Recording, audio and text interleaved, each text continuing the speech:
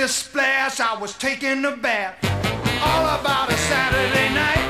Oh, rubbed up, just relaxing in the tub, thinking everything was alright.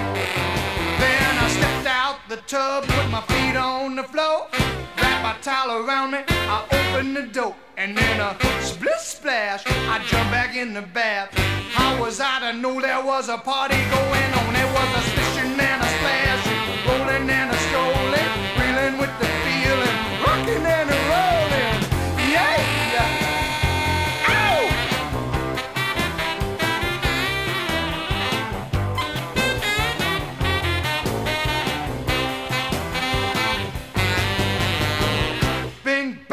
saw the whole gang dancing on my living room rug.